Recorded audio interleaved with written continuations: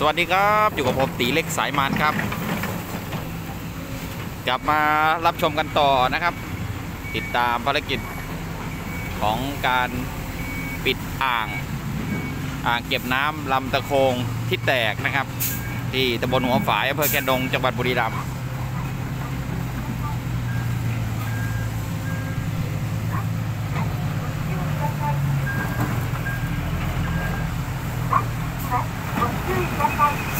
นี่เป็นบรรยากาศช่วงนี้ครับ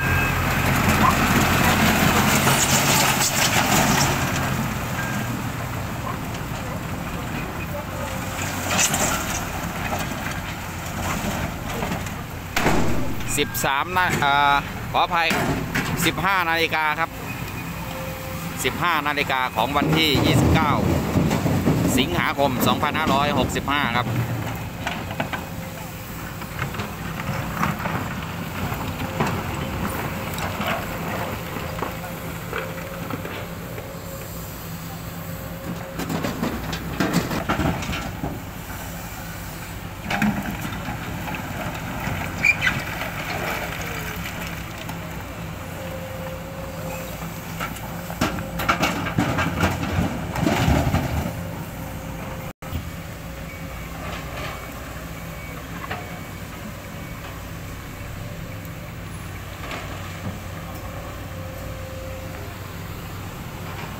นี่ครับ ตอนนี้ท่านนายอำเภอก็มาดูสถานการณ์นะครับ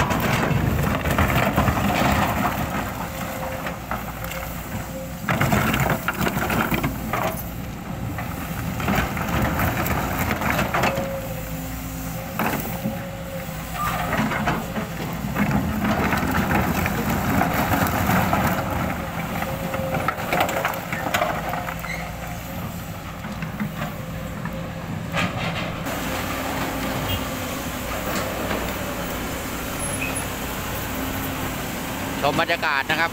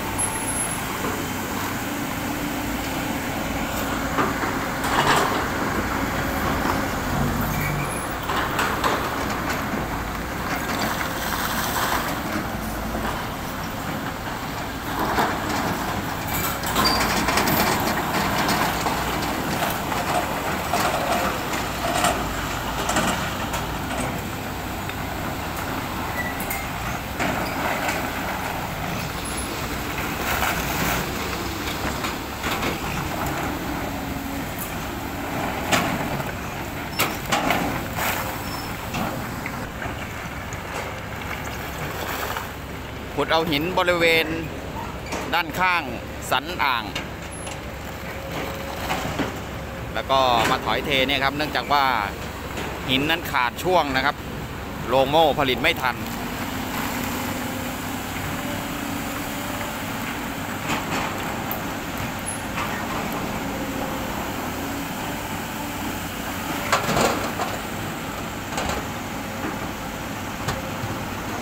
นี่คือจุดที่อ่างแตกครับ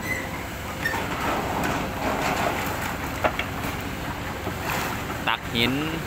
ใส่กองลวดตะข่ายนะครับ แล้วก็มัดวางกันเป็นชั้นเป็นชั้น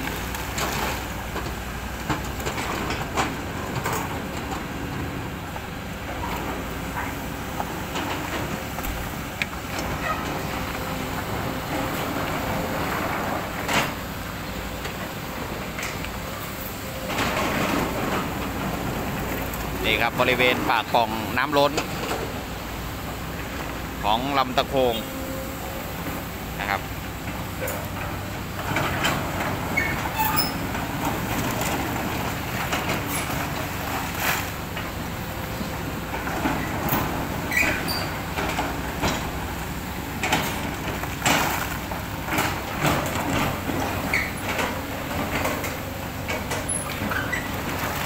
ฝั่งนู้นก็เช่นกันนะครับ รถเป็นโคคันหนึ่งอยู่นู่น แล้วก็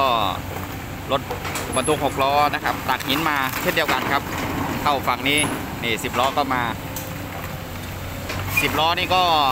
ลากพ่วง ตัวลูกนั้นก็จะเทอยู่ปากทางบ้านตลาด ส่วนตัวแม่ครับก็จะวิ่งเข้ามาเทด้านในอ่าง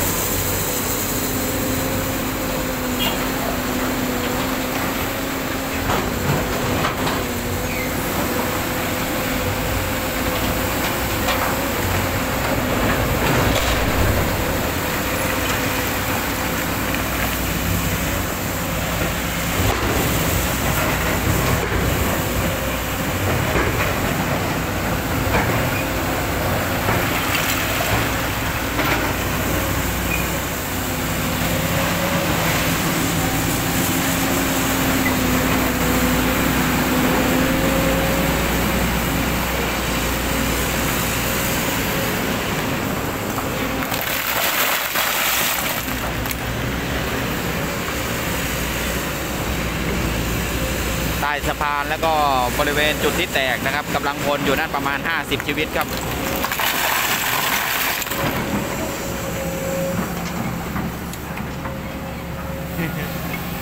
บวนกันอีกแล้ว เป็นไง ร้อนไหม จะร้อนได้ยังไงเนาะแอร์เย็นเนาะต้องโน้ต้องโน้พักโน้พักคนมั้งง่วงนอนเปล่า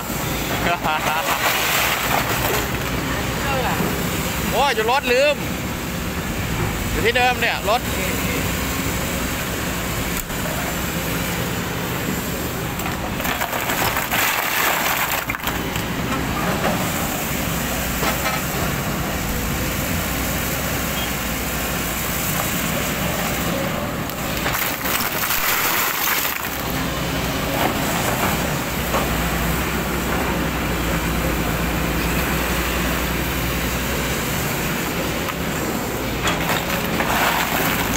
หินลงอ่างนะครับฝั่งนี้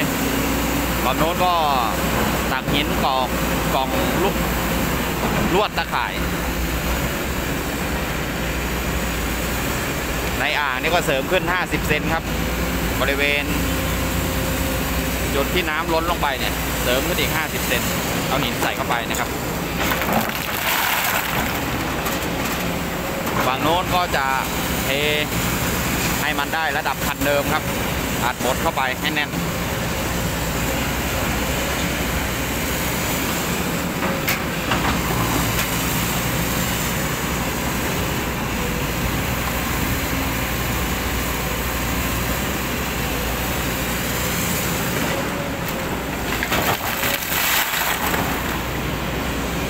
เดี๋ยวค่อยตามกันต่อครับ บรรยากาศช่วงนี้ ดูกันไปยาวๆครับ ชมกันเรื่อยๆ เจอกันใหม่ สวัสดีครับ